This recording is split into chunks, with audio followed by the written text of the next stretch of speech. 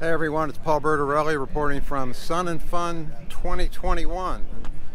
Bless me, Father, but I haven't done one of these shows in about 18 months and having to relearn some things like how to work the cameras. Anyway, I'll show you some uh, B-roll here, swing the camera around. Moderately crowded here. The hangars are kind of full. And you may recall that a year ago, Piper certified Garmin's Autoland in its uh, M-Class airplane, specifically the M600, which has the Garmin G3000 in it. And may not realize they've never shown it at a aviation show of any kind. So this is the first here at Sun Fun.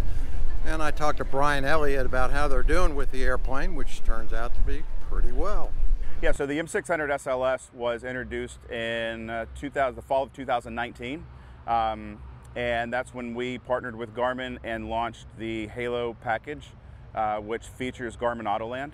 So the current Autoland system works off a number of ways. One is the pilot activated button that's located inside the cockpit. Uh, the other way, the aircraft will descend if the cabin is over 15,000 feet.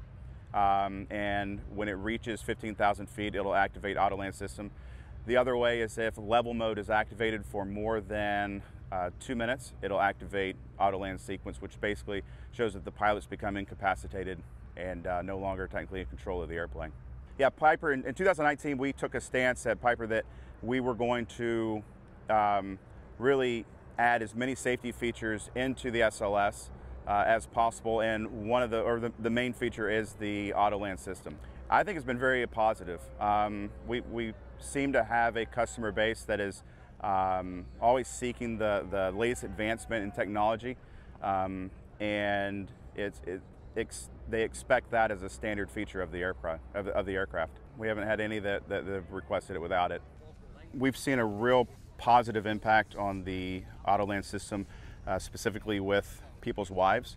Um, um, when when someone's wife hears that, that the that the aircraft will land itself, they they basically tell their husband that's the airplane that we're going to buy. We need that. So it's it's kind of gone from want to buy an airplane to need to buy that airplane.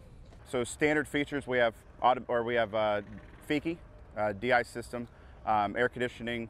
Uh, the the Halo system itself comes standard with uh, synthetic vision, um, uh, FlightStream 510, and a number of other safety features that we have through uh, through Garmin.